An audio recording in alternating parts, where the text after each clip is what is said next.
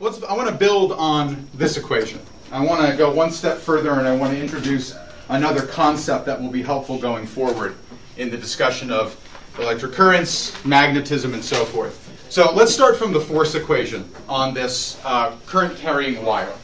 So the force is given by the uh, magnitude of the current, I, times a vector, L, which is units of meters. It's a length vector.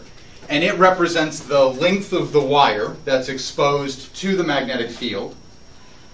And uh, its direction, its where it points is the direction that current points. So for instance, if we were to look at this, this loop of current that I've drawn here, the bottom section points to the right. So here, down in this section, that's where L vector for the bottom points to the right. For this section over here, L vector for the right-hand side points up. And then on the top, it points to the left, and on the left, it points down. Okay, so L vector is just following the current direction in each section of this square loop that I've drawn here. So, uh, well, square or rectangular. So we'll call this a square loop just to keep it simple. Square loop. All right. So each side of this has a length L. All right, so I didn't do a very good job of making this look square, but each side of this has a total length L. All right, and it's immersed in a magnetic field, B, which is uniform in strength, and it points always in the same direction, and that's to the right. So B vector in this picture are these sort of fainter lines with arrows that I've drawn here, pointing to the right. And so we can start thinking about what the force is going to look like on each piece of this square loop. And then the total force is just the sum of the forces. Okay? So the forces are going to be, add, they're going to add just like vectors because they are vectors. So the total force is just the sum of the individual forces on each of the four sides of the loop. Okay, so I equals side of loop drawn over here. Okay? So let's start looking at the forces qualitatively. I'm not going to calculate anything quite yet, but we can look qualitatively at the forces. Let's start with the right-hand side of the loop. So to figure out the direction that the force due to the magnetic field is uh, pointing, what we can do is we can apply one of the two ver versions of the right-hand rule that I've been talking about. We can take the fingers on our right hand, flatten out our hand, and make sure that that points in the direction that current is flowing, because that's the direction L vector points. And now what we're going to do is we're going to reorient our hand until my palm basically faces the direction that the magnetic field is pointing. That is, that's the direction I would have to curl my fingers to point in B. And wherever my thumb is pointing, if I do thumbs up at this point, that's the direction the force would then point on this current. Okay? And since current is defined as the direction that positive charge flows, uh, we already are dealing with positive charges here. So we don't have to worry about a weird sign change like you do with QV cross B, where it could be positive or negative. I is always defined in the direction that positive charge is moving. So that sign is already taken care of for us. Okay? So L, I'm going to have to tip my palm to the right to point in the direction of B, and then my thumb indicates the direction of the force on this wire. So the force over here, and I'll represent that as these little arrows with X's in them, so the tail feathers of arrows fired into the, the board. Those are the directions that F right points. So the force on the right-hand side of the loop points into the board. Let's look at the top, okay? So the top of the loop, you now have a current going to the left. All right, so I take my fingers and I point in the direction of the current, and now I'm going to orient my palm in the direction of the magnetic field. Uh, well, the good news is I don't really have to sweat this one too much because what's true about the magnetic field and L vector in that particular case? They're parallel. And so the cross product is anyway zero. zero, right? So up here, you have no force in this particular case because L vector, which is the direction that current points, is, in this case, it's anti-parallel, so it points in the opposite direction of B. But nonetheless, it means that L and B lie on the same line, and there is no cross product. The cross product of two parallel or anti-parallel lines is always zero. So the top is easy. And then let's just do the bottom while we're at it. So the bottom L vector points to the right, The B field points to the right, so the force is zero. Okay, so there is no force down here either. Okay, so let's then focus on the left. Yeah, Sorry, to clarify, you said the cross product of both those things is zero? Yeah, And any- There's no force? No force. Anytime uh, if L is ever parallel or anti-parallel to B, the force is zero because the force is the result of taking the cross product. If the cross product is zero, the force must be zero. So by parallel and anti-parallel, you mean the lines are anti-parallel and anti-parallel, or they're parallel and The anti-parallel? The vectors are parallel or anti-parallel. L, yes, Okay. yeah. Well, these two to each other. Okay. These are the only two vectors involved in the cross product. Okay. So if L is parallel or anti-parallel to B, then it's zero. Oh, okay. Okay, so let me let me just make this a bit more concrete by reminding you that the magnitude of the force is ILB sine of the angle between them, and if theta equals zero or pi, so pi is 180 degrees, the sine of zero and the sine of pi uh, are zero. So that's that's the other way you can remember this is if you remember, okay, the magnitude of the force is ILB sine theta, okay, then if theta is zero or pi, force magnitude is zero. There's no force. Okay, so that's another way you can do this. All right, so for the left, um, so rather than playing this game where I have to kind of get my fingers to the point, what I'm going to do is uh, I'm going to use the other right-hand rule, which is this one. You make sort of coordinate axes out of your index, middle, and uh, finger and thumb. Okay, this is x, this is y, this is z. That's the way I remember it at least. So you're going to take your, your finger and you're going to point your index finger in the direction that L vector points. You want to point your middle finger in the direction that B vector points, and your thumb will indicate the direction of the resulting force. So it's not very comfortable, but it's not too bad. So here I'd have to do this. So my index finger points in the direction of current, which is down. My middle finger points to the right, which is the direction of the magnetic field. My thumb indicates the direction of the force, which is out of the board over here. Okay, so draw these as circles with dots in them, arrows flying at your face. So this is F vector left. So to do the, the total force, we just need to add F vector left plus F vector right. So let's just look at the magnitudes of those for a second.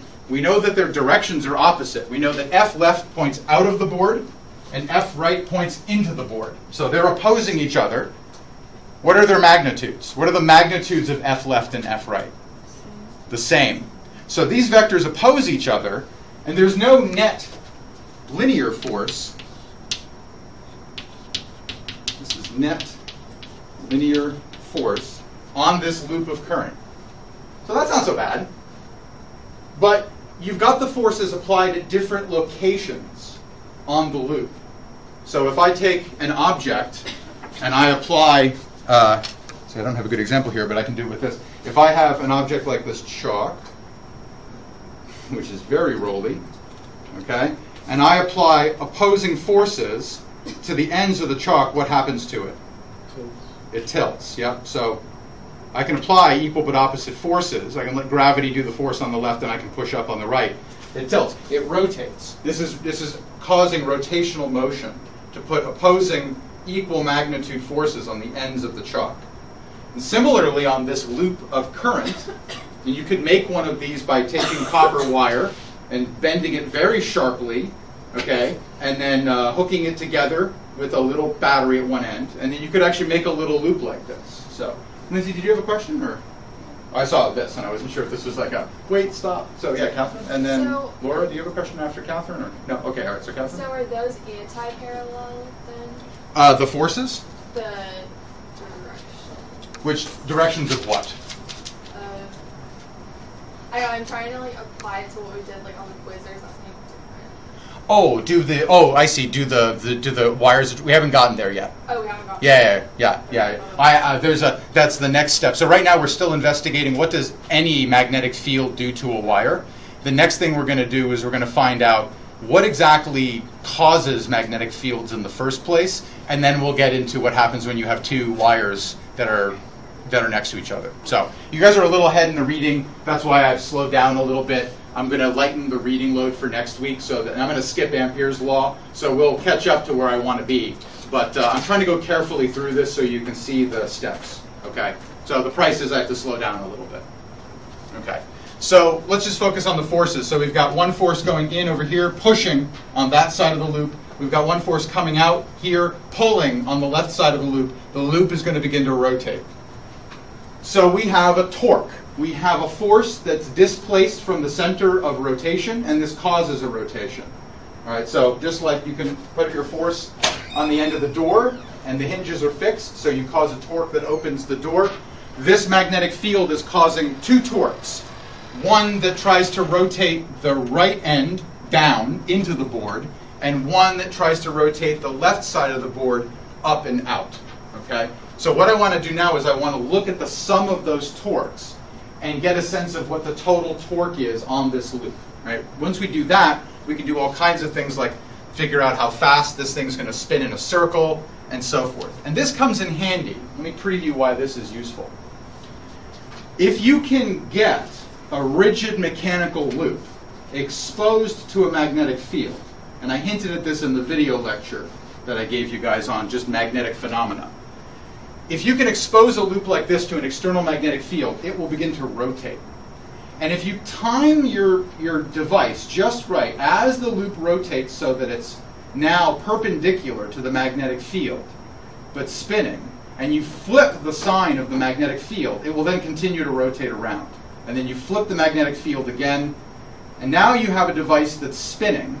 And if you were to hook into that rigid mechanical loop something like a drive shaft, you could move a car. You could run an electric generator. And in fact, this is the exact principle, with a few extra pieces we'll get to in a lecture or two. This is the exact principle behind electric motors. So you use a current and a magnetic field.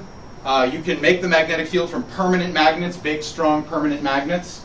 And all you have to do is get something to change sign whenever the loop rotates so that there's no more force due to the magnetic field. In the case of an electric motor, you change the direction of the current. If you flip the direction of the current, now the force points in the other direction and it keeps spinning the loop. And if you time this just right, you can make a motor. And so mechanically, electric motors are set up to make that timing work perfectly.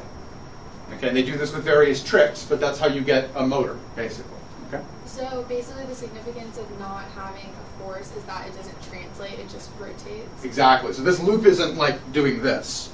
Okay. It's just spinning in place. Okay. Now, of course, there's no perfect loop. There's no perfectly uniform magnetic field.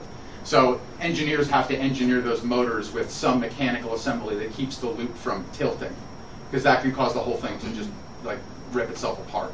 So, so there's of course good engineering that goes into this to take account of the fact that there is no such thing as a perfect system. If you design systems and assume that they're perfect, you will fail. And the early like airline industry illustrates this perfectly. The early uh, commercial airline industry in Britain uh, was building airplanes with materials that, when received from factories, were assumed to be perfect. And so when they manufactured their planes, the assumption was that they're perfect and that there's no tolerance for failure. But these planes started flying, and then after a while, they started ripping themselves apart in the sky and falling out of the sky, killing people on board. So there were two, ma- I think it was at least two major airline accidents of planes tearing themselves apart in mid-flight uh, before they stopped and tried to figure out exactly what was going on. And the flaw, essentially, was their reasoning. They reasoned that when the material shows up from the factory, it's flawless. And so they can assemble anything out of it and it will be flawless. But no material is flawless. There are always microfractures, tiny cracks, imperfections, whatever. And so it's those imperfections that cause tears to begin. And what you have to do is engineer your aircraft so that if a tear begins, the material can absorb the spider webbing crack and stop it before the fuselage tears itself apart. So modern aircraft are designed with failure in mind. They have multiple redundant fail-safe systems in the fuselage construction, and they use multiple kinds of materials so that if a crack develops, it stops. And so you have these, this kind of philosophy about designing now, which is much more, it's, it's, it's accepting of faults and tolerant to faults. And uh, interestingly, you can use electric currents and magnetic fields to scan the surface of a plane and detect microcracks. And this is, in fact, how airline safety uh, professionals, but they have a, a, when they're assessing the fuselage of a, of, a, of, a, of a plane, they don't take a magnifying glass and look for little cracks. Your eyes are not that good. But you can take a little coil of, of wire with a current running through it, And you can run it over the surface of the plane, and you can measure the current coming out of the loop, and from that you can figure out whether or not there's a crack in the plane, even one you can't see with your visible eyes. You can take the plane out of production, and you can fix the crack. Okay? So fault is very important. Whenever we do physics problems, we're setting up perfect situations, but as you go into the world, the world is imperfect, and one has to be tolerant of that.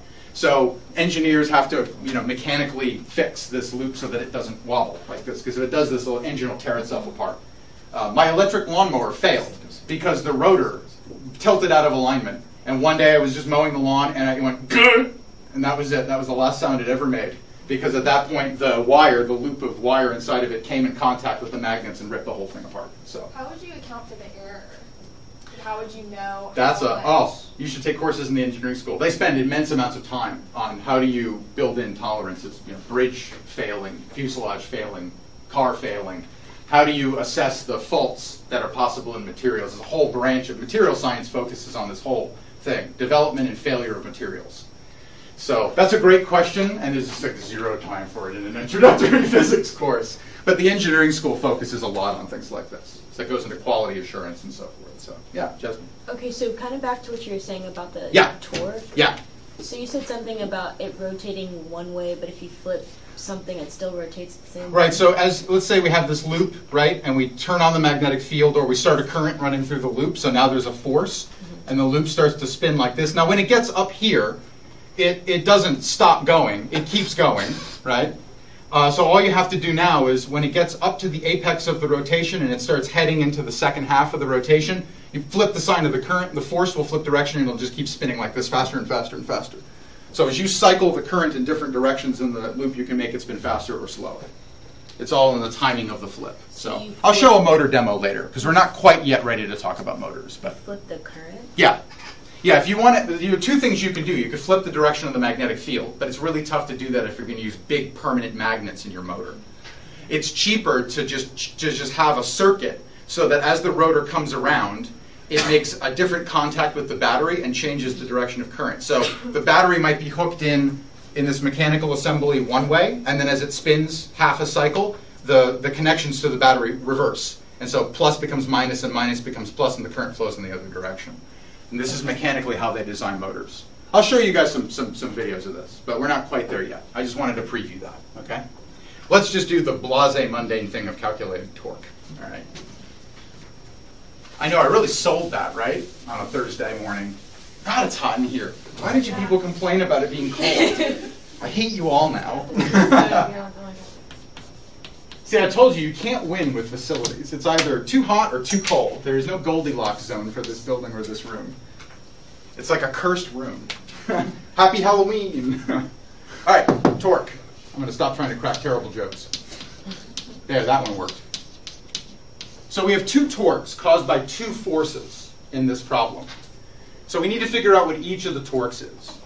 Let's focus on, uh, we'll call one, here, let me relabel this. So we'll call this the right hand torque, and we'll call this, that is not how you spell that, the left hand torque.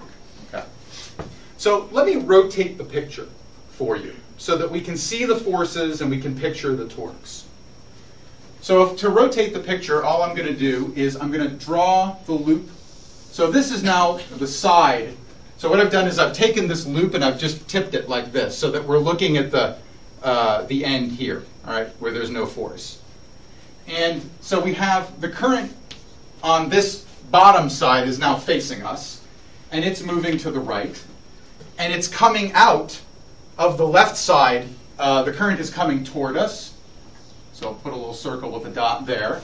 And as the loop bends over here, the current goes into the board. So, so we have I out of board over here, and I into board over on the right. So, and then in this section, it is uh, going to the right. All right. So here it goes into the board, here it comes out of the board, and this is the bottom of the loop. The magnetic field still points this way. Okay. But now we've revealed the z direction. So, so this, uh, if I, I labeled it up here, but the B field is pointing along the x direction. Uh, here the current was going in the positive y direction. Here the current was going in the negative y direction. And the force here is going into the negative z direction. It's going into the board, so it's going down. All right, the positive z direction is indicated here with this dot coming out of the board. And the force here is coming out of the board in the positive z direction. So negative z direction there, positive z direction there. So out of the board is positive z direction. Now I flipped my coordinate system around. I've got x going that way, I got z going that way, and I have positive y coming out of the board. So again, I've just tilted the picture so that we can see the forces now. All right, so the forces here, I'll draw this over here, I into board. So the force here points down. This is F right. And the force here points up. This is F left. Okay? So again, I've just tilted the picture. So now we can see the force arrows. The current, the L vectors, are coming out of the board here and into the board here. So let's think about what happens. We have equal forces on either end of this loop. And so we get this, this rotation. Okay? And the center of the rotation, if this is a nice uniformly distributed loop of, of wire, uh, out of board. All right, so the distance from where the force is applied to the center of rotation is half the length of either side of this loop. So the whole side is of length L. That's half L and half L. All right. So let me just redraw this here. Here's the center of rotation. Okay. This is a length of 1 half L. That's a length of 1 half L. We have a force down here. We have a force up here. Okay? Now for torques, let's do the torque on the right-hand side first. This is equal to r cross f. So we need to know the radius vector that points from the center of rotation to where the force is applied, and we need to take the cross product of that with the force that's applied. Catherine, question? It looks from the picture like it would be rotating the opposite way. Rotating the opposite way. Well, what I did was I, I tilted this this way. So the bottom is now facing us. Okay, so that force points down that way and that force points up. So so this this loop is rotating out of the board like this, and in this picture it's rotating up. Oh, okay. Okay, so I, I did that consistently. I it, there's a, always a danger that I'll flip a sign here, so be vigilant. Okay, but I think that's okay. I think I think those are both consistent pictures because all I've done is I've if I could take this board and tilt it like this so we could reveal the z direction. That's basically what I did is I, I tipped the picture so that the bottom is facing us this way, and that's what you see here. Okay. It's important to play around with this on your own. I'll give you torque problems. You'll have lots of fun with this. Don't worry. Okay? All right, so uh, we need to know the, the vector for the right-hand side that points from the center of rotation out to here. Okay? So that's this vector. So this is r right. Points from the center of rotation out to where the force is applied. The force is applied on the end of this arm here of the loop. Okay, and we have the force already. So let's write down some vectors. All right, so keeping in mind that again, to the right is still the x direction, just like it was there. Our right is a magnitude times a direction. Well, the magnitude of that r is just the length of the conductor between the center of rotation and the end. That's a half L. We need a direction. And for that, we just need a unit vector that points in the direction that r vector points. That's in the positive x direction, so that's going to be i hat. That's it. We're done with r. Okay, now we need f. f right. Well, we know that that is going to be uh, I, L, cross uh, B. Okay? So we need some vectors here. We need to write in terms of our coordinate system uh, these, these vectors. Okay, so uh, let's see. So for this, what I'm going to do is, um, uh, well, we know what L is already. It's the total length of the wire that's exposed to the magnetic field. Okay, so this is going to be I, L, and the direction in which L points is the direction of positive current, right, so current flow, positive charge flow. That's to the right, that's the positive x direction. So that's just I hat. Okay? And then we have to cross that with the B vector. Uh, oh, hang on a second. Hang on. Hang on. Nearly went off the rails on that one. The force is acting on this length here, okay, which we can't see anymore because it's hidden behind the, the bottom of the loop that's now facing us. So uh, this is the direction of the current flow that's experiencing the force, and it points in the positive y direction. Okay, positive y direction, positive y direction, that's where current is flowing. So we have to consider the length that's exposed to the magnetic field that's getting the force put on it. So that's L, that doesn't change. But now we're in the positive y direction, which is j hat. Okay, and then finally, we have to get a vector in for magnetic field. Well, the magnitude of that vector is just b, and it points in the positive x direction. That's where I drew b originally, positive x. So this is i hat. Okay, so uh, let's let's do some cross product here. Let's let's get that cross product sorted out, and then we'll do the torque cross product. So let me pull the constants out of here. We got L, we got B. They don't participate in the cross product. They're just numbers. It's the length of the wire, whatever it is, one millimeter or two millimeters or 10 centimeters. And then the magnetic field strength B, whatever it is, a Tesla, a millitesla, we don't care. It's just a number. So we pull it out in front, ILB, and then we just have this cross product, uh, J cross I. Okay, so let's dig back a lecture. I cross J is K hat. So I hat cross J hat is K hat. So what is J hat cross I hat going to be? Negative K hat. Great, thank you. Okay, so we have ILB. Okay, so negative ILB K hat. Okay, so that is the exact expression for the force acting on the right-hand side of the loop. And that's the force that enters the torque equation here. Okay? And as usual, I'm running out of board. So, um, what I'm going to do is I'm going to just use this space here and finish off the calculation. All right, so continued from left board. Okay, so now we got to deal with R, which we have a vector for here, cross F, which we have a vector for.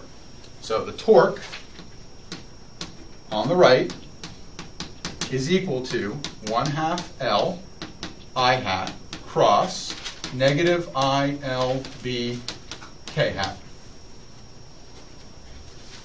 Okay, so let's get all the constants out in front. The negative ILB, the 1 half L. Let's just get that out in front now. So we have uh, negative 1 half L squared B.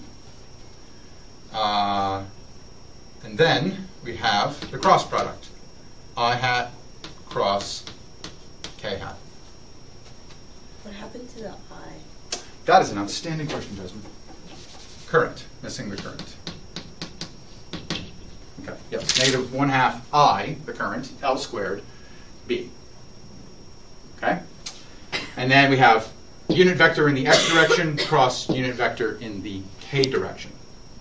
So again, if we dig back to last time, we had I hat cross j hat equals k hat, k hat cross i hat equals j hat, and j hat cross k hat equals i hat. Flip any of those two, and you put a minus sign in front of the right-hand side of the equation. So we have i cross k.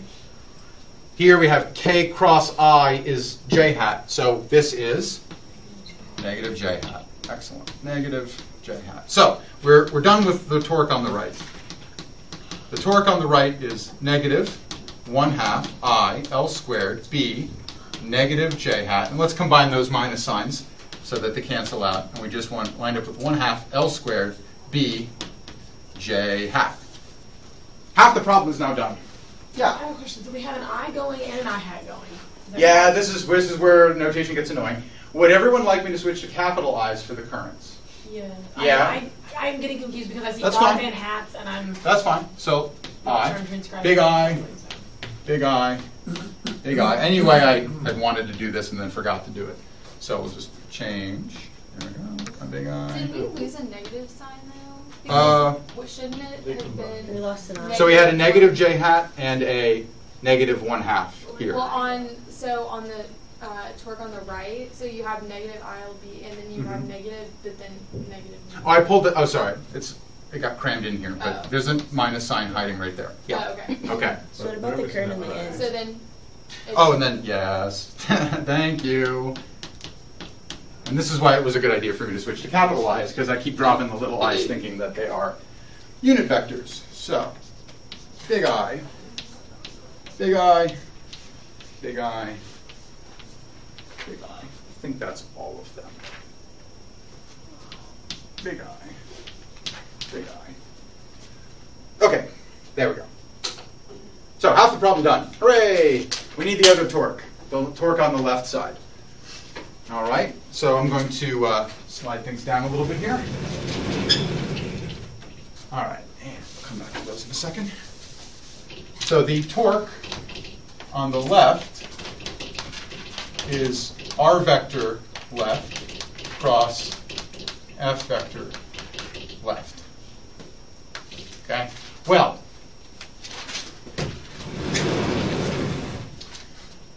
R vector to the left will point out to where the force is applied. So it goes from the center of rotation out to where the force is applied, and the force is applied right on the end of the loop here. So this now points in the negative x direction. So r vector for r left is negative 1 half L I hat. The force on the left is, again, uh, I, L vector left cross B vector. Now, L vector left is this. This is the side that actually gets the force that causes the torque. That has a length of L, and it points in the negative Y direction, so negative J hat. It points down. So this is just equal to I, negative L, J hat, cross B still points in the same direction. B positive I hat. So we can group these terms together and we get negative IL B J hat cross I hat. Okay? J hat cross I hat is negative K hat.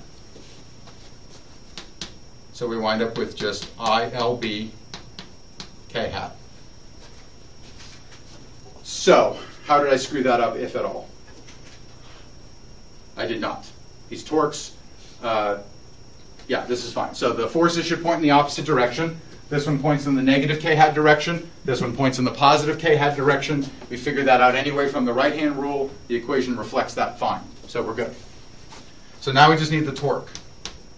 And that is going to be the cross product of this vector, negative 1 half L I hat cross I L B K hat. So I can again pull all the constants out in front, negative 1 half I L squared B, and then I just have I hat cross K hat, which is negative J hat. So I just wind up with 1 half I L squared B J hat. And oh look, torque on the right plus torque, or sorry, torque on the, yeah, torque on the right plus torque on the left. They add up. You get a rotation. There's a net torque. That's good because we kind of assumed that that was going to happen and the math bears that out. We get a net torque. The total torque is the sum of the two, and it is just uh, 1 half plus 1 half. Those equations are the same otherwise, so we just get I L squared B K hat. K Why is it K? J. Excellent. You're learning to question the teacher. My mission here is complete. I can quit and retire now. Quick question. Yes. Um, I doubt it's quick, but go ahead. on the T left, on the right board, Yes. the bottom section there. Yeah, yeah. Um, I understand where the second term came from, but it's like literally right above. Where did the left term there come from? Good question. So that is going to be our left vector. And our left vector is a vector that points from the center of rotation out to where the force is applied. So its arrowhead points to the left. This is the x-axis. Positive x is that way, so this is a negative i hat direction. And it has a magnitude of one half the length of the loop. Okay. So that's where the negative one half L I hat comes from. And so that's that, negative one half L I hat. So you solve that equation for F left first, and then plugged Then back in to get R left? Plugged in, well, no, I plugged in, no, no, no, no, no, no, no, no, no. I, I wrote down R left, then I figured out what F left was, and I used that in the cross product to get torque. And then that's what I got. I want to unpack this for a moment, because in order to introduce the key concept here that I'm using this calculation to motivate, I need to kind of step back for a moment and put a cross product back into this equation. And I know that's going to seem a little odd, but let me go ahead and do it, and you'll see where I'm going with this. Okay? Uh, one thing that I want to point out: what is L squared equal to for a square loop? You have a square, and you calculate L squared. What's that? The area. The area, yeah. It's the area of the loop. So let me just make a quick substitution here and write this as I times the area, this is the area, times B, j hat. Okay? And then let me go one step further and let me unpack j hat into a cross product. So what cross what gives me j? See if we can do this backward. K cross I. Yep. So this is I, A, B, K hat cross I hat. Let me unpack this one step further. Okay? What I'm going to do is I'm going to put B back here in front of I hat. Okay, and I'm running out of board space again. So who gets sacrificed? In the box. You. Who? What should I get rid of? In the box. In the box. Okay. Does anyone know one needs the this? Great. All right. So we'll just reclaim this for Spain. Excellent. Okay. So we have torque total equals I A B, and then I have K hat cross I hat. So I'm going to put the B back with the I hat. No reason I can't do this. Totally legit. What does B I hat equal to? What was it originally? The B vector. Yep, so let me go ahead and put that in.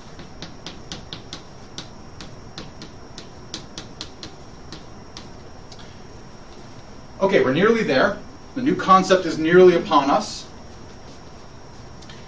Uh, what I will now do is I will define this thing, I, A, current times area, gets a new name. Mu. And it stands for magnetic dipole moment. And it is analogous, just like an electric dipole in an electric field will execute rotation and it has a moment. That moment is equal to its length times the magnitude of the charge on either end. A current loop behaves just like an electric dipole, but in a magnetic field. Remember, I mentioned that the simplest fields in nature we've ever seen are dipole fields. So it's very convenient to simply define the equivalent for the magnetic field and force that we had for the dipole and the electric field and force. There's a dipole moment for electric charge, and there's a magnetic dipole moment for magnetic rotation, rotations in a magnetic field due to currents. Okay, and what is it? It looks very similar in construction to the electric dipole moment. Electric dipole moment was Q times D, charge times the length of the separation. This is I, moving charge, current, coulombs per second, times the area of the loop. So it is very similar in its construction, and this is no accident. as you'll see in a bit, I'll demonstrate it in a moment, there is no accident that there's a weird symmetry here between current loops and magnetic fields and two charges bound together in an electric field. There's a reason for this, and it's very convenient to define this quantity as mu. And here's why. If I want to know the total torque on a loop, I just have to know mu vector cross b vector. And mu vector is just IA, in this case, k hat. How do you figure out the direction of mu in an arbitrary problem involving a, a current loop? Well, it's actually not as hard as it seems. Where does k hat point in this picture? Out of the board or into the board?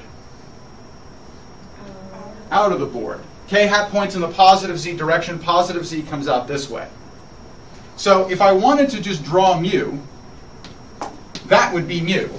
And its magnitude would have been the current times the area of the loop. That's it. You don't have to do this nonsense garbage with writing r cross f and then I'm going to sum the torques and then. Nope. It's easier than that. You need to know the area of the loop. You need to know the current in the loop. And you need to know one direction the direction of a vector perpendicular to the area, which is what k is, right? The area is in the plane of the board. Mu vector points out of the board. And the way you figure it out, take your fingers, curl them in the direction that current is flowing. Current is flowing counterclockwise in this loop. Your thumb indicates the direction of mu vector. That's it. Whole lot easier. Whole lot easier to figure these things out. With this trick, you can figure out, for instance, how a microscopic current loop that might be present, for instance, in the uh, electrochemical processes in a cell would respond to the cell being exposed to a magnetic field. With this information, you might be able to figure out how currents in the brain, current loops in the brain, would be affected by magnetic fields.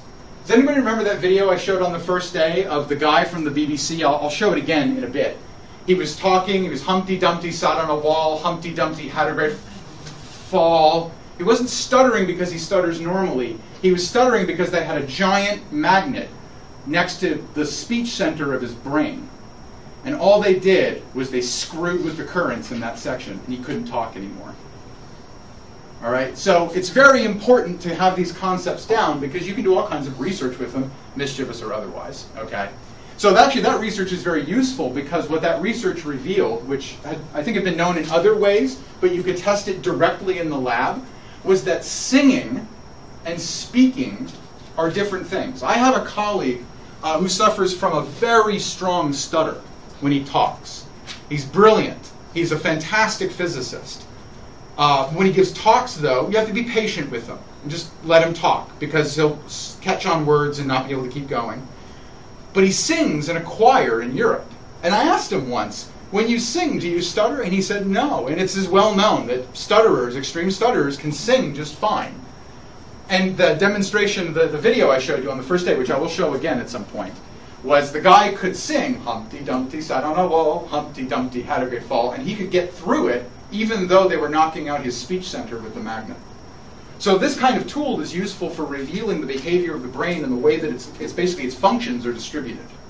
Okay? So neat little things you can do with magnets and currents and so forth. All right?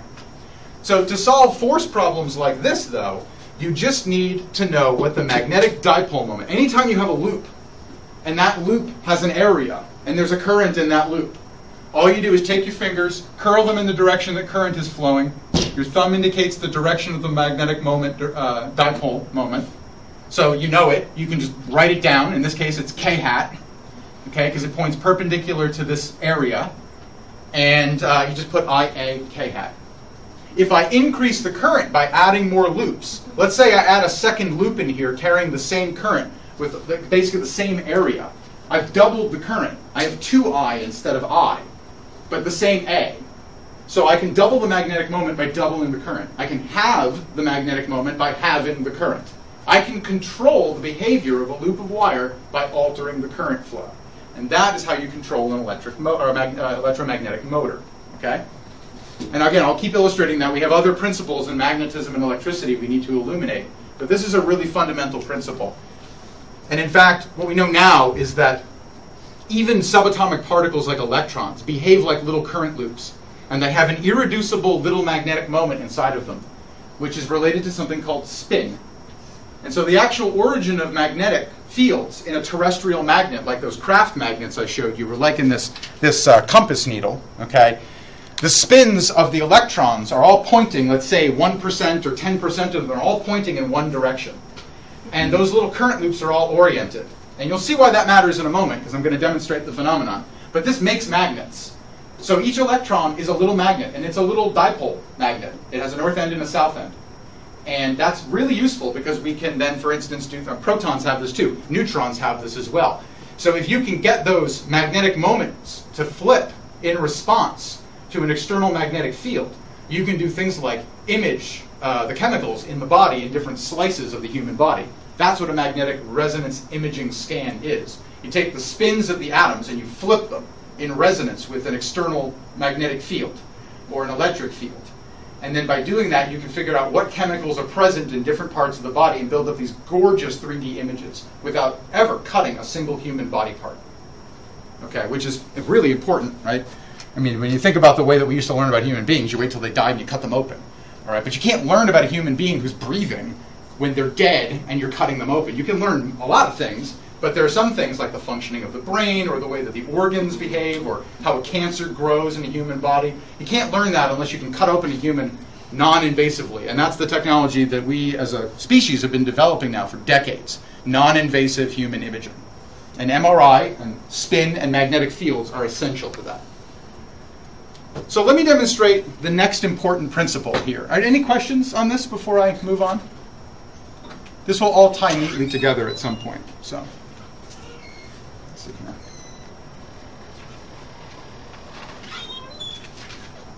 There we go. All right, so we did the loop. Okay, so this is just a slide. I'll put this. I'll put this all up on the web the web page today. So here's the example of how you calculate the direction of the magnetic moment. That little n vector is the vector that's so-called normal to the area. Normal means at a right at a 90 degree angle. So the only way, if you've got your area in a plane like this, the only way to get a normal vector is to point perpendicular to the plane. And to figure out the direction that n points, does it point out or does it point in, you just curl your fingers in the direction of the current flow. That's it. Okay. So another right-hand rule you'll have to absorb. Okay, and then this is just pointing out what I, I, said here. You can align loops of current along or against a magnetic field, just like you can align dipoles, electric dipoles, with or against the field. And this is the aligned is the low energy configuration, and anti-aligned against the field is the high energy configuration, just like electric dipoles.